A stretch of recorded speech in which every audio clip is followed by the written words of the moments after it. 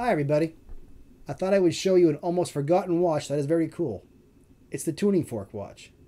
This one is an Omega Constellation F300 made back in 1972.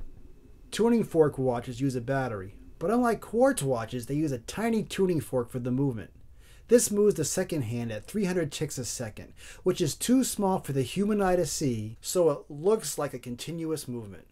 Bulova invented this technology back in the 1960s with the Accutron. Then Omega bought the license and further developed the technology. The tuning fork does make a sound, just listen.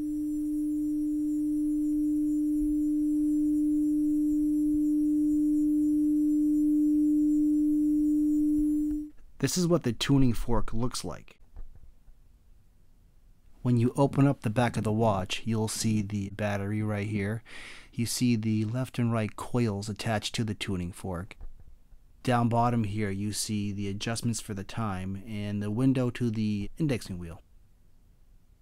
Here is the indexing wheel with the two little arms attached to the tuning fork.